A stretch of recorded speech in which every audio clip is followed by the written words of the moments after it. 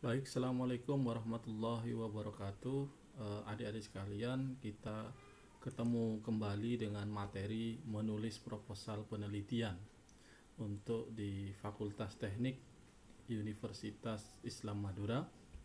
Baik, sebelum kita memulai, mari kita bersolawat kepada baginda Nabi besar Muhammad Sallallahu Alaihi Wasallam. Allahumma salli ala Sayyidina Muhammad wa ala ali Sayyidina Muhammad. Mudah-mudahan eh, pembelajaran ini menjadi berkah dan barokah. Baik, eh, penting untuk diketahui oleh kalian semua bahwa sebelum menulis proposal, sebaiknya kita harus mendapatkan dan membaca aturan dan format proposal yang akan dibuat. Apa pun itu, mau proposal skripsi, proposal penelitian, misalnya Anda ikut PKM atau uh, mengikuti uh, kompetisi yang lain, maka yang harus dibaca dulu adalah aturan dan format proposal yang akan dibuat. Nah, studi kasus dalam materi kuliah ini adalah uh, proposal tugas akhir di Fakultas Teknik, khususnya di Teknik Informatika, berdasarkan uh, template atau aturan tata tulis yang ada di Fakultas Teknik disusun men, uh, beberapa bagian ada judul habis itu ada bab satu yaitu pendahuluan di dalam pendahuluan itu ada latar belakang rumusan masalah batasan masalah tujuan penelitian manfaat penelitian sistematika penulisan dan terakhir adalah posisi penelitian yang kedua yaitu bab 2 dengan topik kajian pustaka dan landasan teori. Yang ketiga adalah bab 3 metodologi penelitian. Seterusnya adalah jadwal kegiatan dan daftar pustaka. Nah, baik untuk materi yang pertama ini saya akan membahas dulu tentang judul. Uh, karena judul itu adalah casing dari sebuah proposal dosen, penguji atau siapa pun pasti akan melihat eh, pertama kali adalah judul Anda.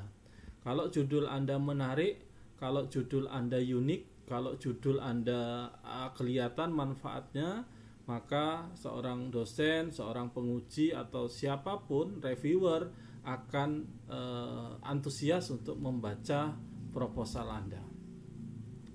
Teknik menulis judul Judul adalah hal pertama yang dibaca orang, sehingga judul ini menjadi penentu awal apakah seseorang akan terus membaca atau tidak. Jadi, hal yang pertama akan dibaca orang adalah judulnya. Saya sering berkata, "Judulnya apa?" Teman Anda akan bertanya, "Judulnya apa?" Tidak akan bertanya, "Metodenya apa?" Tidak. Jadi, judulnya apa dulu? Nah, Judul yang efektif pertama terdiri dari 5 sampai 12 kata.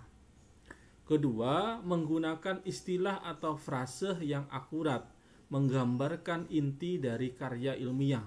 Jadi jangan basa-basi, singkat, padat ya. Judul harus ringkas, jelas dan lengkap. Yang keempat, judul itu dimulai dari kata yang dianggap paling penting yang kelima, judul harus bisa menunjukkan perbedaan dari makalah lain pada bidang yang sama. Jadi jangan meniru-niru atau menyamakan dengan judul yang sudah banyak di pasaran atau banyak di Google. Maka Anda harus kreatif, inovatif, dan berpikir cerdas untuk memilih judul yang uh, menarik dan uh, Anda memberikan sebuah uh, satu e, muatan yang bisa orang itu sangat tertarik. Dan terakhir, setidaknya berisi tiga kata kunci di dalam judul itu. Kata kunci atau keyword itu adalah poin-poin yang ada dalam e, penelitian itu. Nah, isi dari judul yang pertama adalah topik. Pasti ada topiknya. Apa itu topik? Apa yang akan diteliti? Nah, itu masuk dalam konteks judul. Yang kedua, topik biasanya menggunakan frase yang dianggap penting. Yang kedua adalah metode. Metode atau teknologi atau parameter yang digunakan untuk menyelesaikan permasalahan dalam penelitian. Yang terakhir adalah target atau tujuan. Objek apa yang menjadi target penelitian atau tujuan dari penelitian itu sendiri. Nah, kita ambil salah satu e, contoh e, judul, misalnya ini adalah e, satu judul e, identifikasi suara tangis bayi berbasis ranah waktu frekuensi sebagai penterjemah kondisi bayi. Nah, di sini ada uh, topik penelitiannya adalah identifikasi suara tangis bayi. Terus yang kedua adalah parameternya berbasis ranah. Yang ketiga tujuan penelitiannya sebagai penterjemah kondisi bayi. Contoh kedua, tongkat elektronik dengan konsep radar berbasis GPS sebagai peningkatan mobilitas tunanetra tanpa batas jarak. Tongkat ini adalah topik penelitiannya. Konsep radar berbasis GPS ini adalah teknologi yang digunakan. Terus peningkatan mobilitas tunanetra tanpa batasan jarak ini adalah tujuan. Contoh berikutnya adalah uh, ada topik penelitian, ada teknologi yang digunakan, ada target penelitian. Berikutnya juga hampir sama, jadi dibolak-balik. Jadi apakah topik penelitiannya dulu, apakah teknologinya dulu, ataukah metodenya dulu. Nah, kita lihat strategi menulis judul. Yang pertama, tulis daftar kata kunci atau kata yang dianggap penting di dalam makalah atau ide Anda. Kedua, rangkai kata-kata kunci tersebut menjadi sebuah kalimat. Yang ketiga, memperbaiki atau memilih kalimat dengan topik yang ada. Lima, buang kata-kata yang dianggap tidak penting. Terakhir, judul selalu berupa frase bukan kalimat. Nah, adik-adik sekalian, untuk mengasah eh, kemampuan Anda membuat sebuah judul, maka saya kasih uh, beberapa tugas. Tugasnya pasti berbeda, tidak mungkin sama. Silahkan berkreasi sendiri. Kalau sama, ya kemungkinan besarnya 50-50. Nah, saya punya kata kunci di bawah ini. Ada sistem pendukung keputusan, ada AHP, ada topsis, ada dosen. Nah, judulnya seperti apa ini kalau Anda rancang? Ini ada tiga keyword ada AHP, ada FAHP, ada bonus. Ini juga ada enterprise resource planning, ada waterfall, ada garam. Ini ada optimasi, algoritma genetika, jalur terpendek.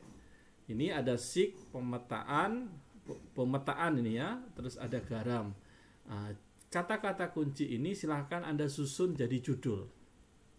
Seperti apa judulnya? Ditulis pakai tangan saja. Kedua, ini ada salah satu contoh abstrak. Dari abstrak itu, ini ada uh, keywordnya tadi, DPL, KKN, TOPSIS. Ini adalah abstraknya. Uh, pertanyaannya, buatlah judul dari abstrak berikut ini. Dengan membaca abstrak ini, uh, seperti apa judul kira-kira yang Anda akan tawarkan. Yang ketiga, yaitu saya punya ide anda punya ide. Sementara ini saya punya ide gitu ya. Ide saya adalah membuat aplikasi pemilihan tempat pembangunan industri pupuk. Saya ingin membuat aplikasi pemilihan tempat pembangunan industri pupuk.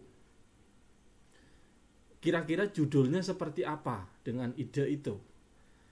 Yang kedua, saya punya ide ingin membuat aplikasi pembuatan kartu anggota NU secara online. Jadi Kartanu itu saya pengen buat secara online seluruh Indonesia.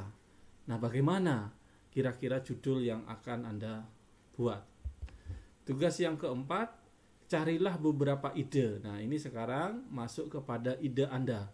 Kalau tadi yang ketiga adalah idenya Pak Ozairi, nah sekarang yang keempat Anda mencari ide yang bisa menjadi solusi terhadap permasalahan masyarakat yang kedua, tulislah judul penelitian dari ide yang Anda tulis tadi. Jadi Anda buat kayak gini, terus Anda jadikan uh, judul penelitian. Tapi semua dari Anda sesuaikan dengan keinginan Anda, sesuaikan dengan fokus Anda. Kira-kira adik-adik sekalian mau fokus ke apa? Pengembangan sistem informasi, uh, penerapan uh, sistem pendukung keputusan, atau Anda mau mengembangkan IoT, atau Anda mau mengembangkan uh, apa namanya Android. Kalau Anda bisa mengembangkan sistem security jaringan dan seterusnya. Baik, demikian yang bisa saya sampaikan. Terima kasih. Semua jawaban tugas ditulis tangan dan dikonvert ke PDF, diupload ke Google Form. Demikian adik-adik sekalian, tetap semangat belajar dari rumah. Semoga Anda sehat selalu dan seluruh hajat Anda dimudahkan oleh Allah Subhanahu wa taala. Assalamualaikum warahmatullahi wabarakatuh.